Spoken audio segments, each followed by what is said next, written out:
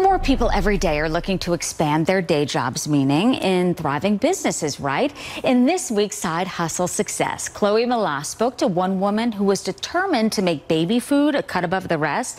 She is now running a successful business. Hi, Chloe. Hey, Susan. So I discovered the organic baby and toddler food brand Happy Family when I had my first child, and I was fascinated how at such a young age, just 26 years old, Shazi Visram was able to launch it from her little Brooklyn, New York kitchen with no background in the food business. She didn't even have kids at the time, but she saw a void in the marketplace, and that's when things exploded.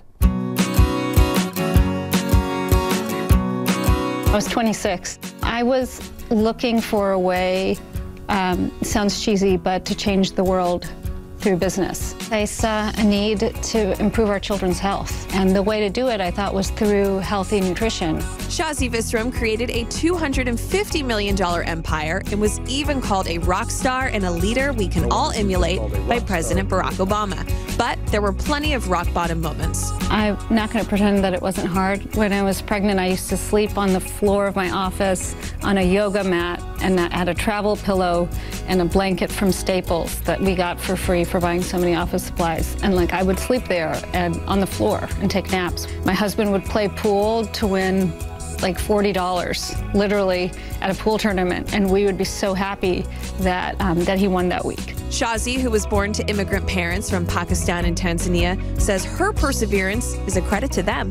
I grew up in a motel room in Alabama the first eight years of my life in the States, so um, it wasn't like I had you know, a silver spoon. A, definitely not a silver spoon. Having immigrant parents is probably even more of an education than an MBA for an entrepreneur because you see somebody who's coming here with no real experience, completely dropped in a new culture, and no matter what, they're going to figure it out because they have to. Susan Shazi's story goes to show you that you don't need to have tons of money in the bank or be born into the right connections. It's really about holding on to your dream no matter how many no's you get along the way and looking to either make a product better or fill a space in an industry that doesn't exist. So we should all keep our eyes open like Shazi because you could be sitting on the next big idea. I hope it is me. Chloe, thank you. Appreciate that. Here's